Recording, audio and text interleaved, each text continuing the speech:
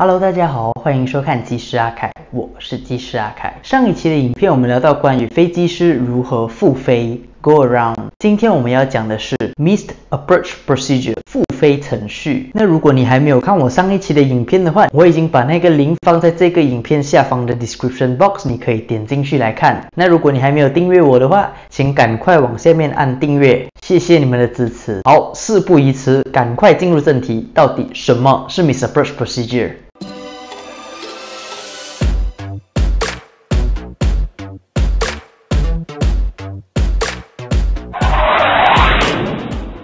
在上一期的影片，我们有聊到说，每一次飞行都必须为复飞做好打算，因为每一次的着陆都有复飞的可能性。那如果我们的飞行计划只是给我们从起飞飞到目的地而已，万一我们需要复飞的时候，我们要去哪里嘞？尤其是在繁忙的机场，每一分钟都有飞机在不同的跑道起飞或者是降落，空中管制员也会安排飞机与飞机之间的距离非常的靠近。那如果你一辆飞机原本应该着陆的，现在突然之间你又复飞了，有可能就因为这一个复飞，就干扰到整个空域的交通。如果处理不妥当，可能还会撞上其他的飞机，而且有一些机场的地点也非常的特别，比方说 Bandar Aceh Indonesia，在这一个机场，它只能用一个方向降落而已，因为这个跑道的前方、左边和右边都是高山，单单在它跑道的前方，最低的安全飞行高度是七千四百尺，所以如果看它的 j u t 你一复飞，马上就是往右转，不能往直直飞去的。另外一个例子就是重庆江北国际。机场这个机场跑道所在的位置，周围也到处都是高地，所以你会看到这个机场的 miss approach procedure 显得比较复杂，而且它这边也会规定 climbing gradient four percent。那基本上这个 climbing gradient 就是告诉你讲说，你飞在这一个速度，你至少每分钟爬升多少高度，这是为了确保当你飞到那一个地点的时候，你的高度将会高过那个地形，而不会撞下去。那如果你飞机的性能不达标，你就没有办法做这一个 approach。除了地形可以局限复飞程序的，也可能是因为地区。什么样的地区，在一片天空里面，我们会画下很多的界限，而一些区域是属于特别的空域，一般上会有三个 category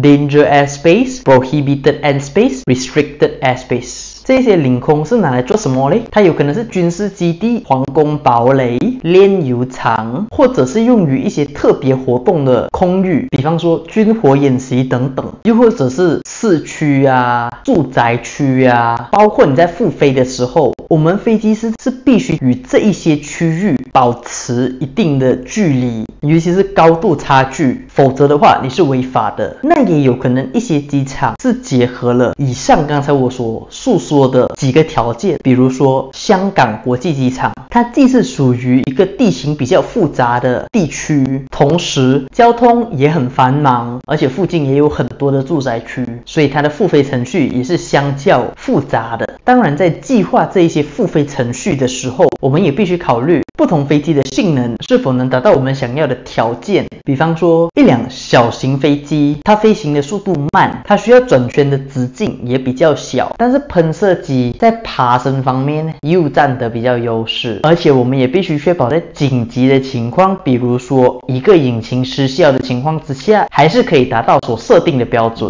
这是为了确保我们飞机在最糟糕的情况之下，也可以顺利完成整个复飞程序，那就能给到我们信心，在一般的情况之下复飞绝对是安全的。这一些复飞程序都会计划得非常非常的详细。要飞多远，往什么方向飞，什么速度，什么高度，到最后飞去哪里，你的 holding pattern 是什么？这一切都已经很精准的被计算过，所以基本上只要你可以达到你复飞程序里边所有的限制，刚才我们所讨论的地形啊、交通啊、特别区域啊，都不是问题，通通都已经被纳入考量。那可能你也会注意到，同一条跑道。同一个 approach 可能会有几个不一样的付费程序，比如说简单的一个 ILS Instrument Landing System，我们会有 ILS RNF、ILS GPS、ILS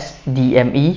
ILS VOR、ILS NDB 等等。一般这是不同的 approach 会以各自的英文字母来做代号，ILS、X-ray、Yankee、Zulu 这样子。这一些同样都是使用同一个 ILS，可是它复飞的时候所需要用到的器材不一样。如果你的飞机没有 GPS，你就不能用 ILS GPS 咯，可能你需要用 ILS VOR。那在你复飞的时候，你就用 VOR DME 来导航，而不能用 GPS 来导航。空中管制员也会配合当时候交通流动的方向，指示你必须使用哪一个 approach。那当然，我们知道天有不测之风云，尽管我们已经计划给最糟糕的情况，但是如果比最糟糕更糟糕的时候怎么办？这个时候，我们飞机师可以寻求空中管制员的协助。我们可以 request radar vector，空中管制员会配合你现在所在的位置与你的情况，给你一个很明确的指示。例如，向右拐，腰动腰，爬升到四千三百米。他们也可以帮你调走你周围的飞机，甚至清空整个空域，让你有足够的安全空间活动。但是这个是没有办法折中的办法。在航空领域里边，我们有一个词汇叫。Airmanship，它大概的意思就是每一名飞行员做好自己的本分，让大家可以准时并且安全的抵达我们的目的地。如果你一辆飞机因为很小的事情复飞，然后要求空中管制员清空整个空域给你，导致其他飞机通通都延误，那这样子你就显得非常的不专业。但如果确实有紧急情况的话，其他飞机师，我们也会理解，并且尽量的配合你。最后，我们还是会把安全放在第一位。好啦，这一期的影片就到这里。如果你喜欢我的影片的话，希望你可以帮我点一个赞，也希望你可以帮我分享到其他社交平台上，让更多人可以看得见。记得记得订阅我的频道，因为这对我非常的重要。如果你有兴趣，也可以追踪我的 Instagram。那我们下一个影片见。我是技师阿凯，祝你旅途愉快。